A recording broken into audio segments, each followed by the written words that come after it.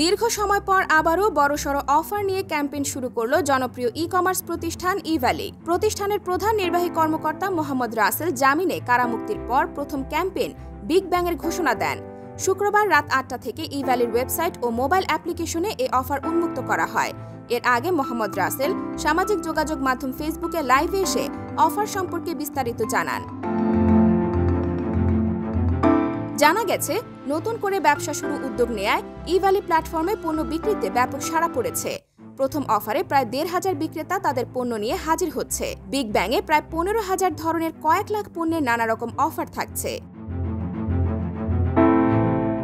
অফারের মধ্যে আকর্ষণীয় দশ টাকায় পাঞ্জাবি, ষোলো টাকায় একটি গ্যাজেট আইটেম ও একশো টাকায় প্রেশার কুকার সহ বেশ কিছু পণ্যের সারপ্রাইজিং অফার থাকছে। পাশাপাশি বেশিরভাগ পণ্যেই বিশ থেকে ত্রিশ শতাংশ ছাড় থাকছে, তবে বিশেষ সারপ্রাইজ থাকছে মোবাইল ফোনে।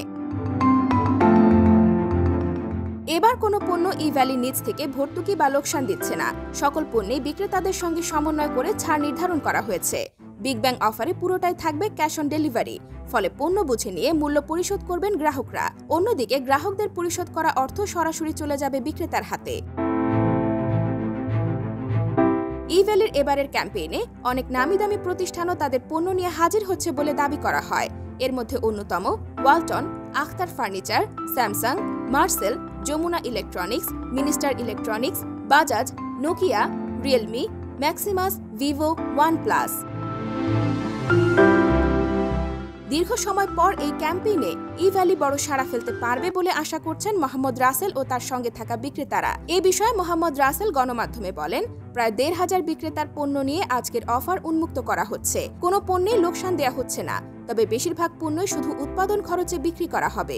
এজন্য গ্রাহকরা বাজার মূল্যের তুলনায় বিশাল ছাড় পাবে। অফারের আগে লাইভে আরও বিস্তারিত জানানো হবে। ব্যাংকের চাকরি ছেড়ে দু হাজার আঠারো সালে ই ভ্যালি প্রতিষ্ঠা করে হইচই ফেলে দেন মোহাম্মদ রাসেল। মাত্র দুই বছরের মধ্যে দেশের শীর্ষস্থানীয় ই কমার্স প্রতিষ্ঠান হয়ে ওঠে ই ভ্যালি। কিন্তু ঋণের বোঝাও বেড়ে যায় তাদের। অভিযোগ আছে, দেশি ও বিদেশি কয়েকটি প্রতিদ্বন্দ্বী প্রতিষ্ঠান মিলে ই ভ্যালিকে থামানোর জন্য উঠে পড়ে লাগে। মোটা অঙ্কের বরাদ্দ করে তারা। এক পর্যায়ে দু হাজার একুশ সালের সেপ্টেম্বর মাসে গ্রেফতার করা হয় রাসেলকে। অবশ্য সম্প্রতি কারামুক্তি পেয়েছেন তিনি। IVTV USA, New York.